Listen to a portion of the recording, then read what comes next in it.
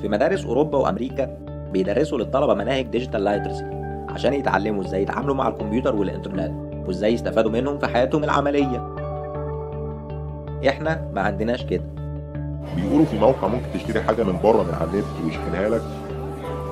مش أنا حجزت تاكسي عن طريق النت وجاي في خمس دقايق.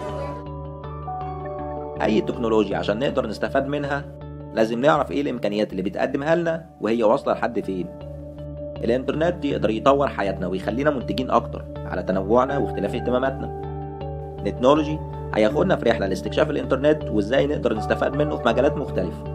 هيعرفك بالمواقع والتطبيقات المميزة اللي هتفيدك في شغلك أو دراستك أو حياتك اليومية. وكمان هيقولك نصايح إزاي تستخدم الإنترنت بكفاءة عالية وتحقق منه أعلى استفادة.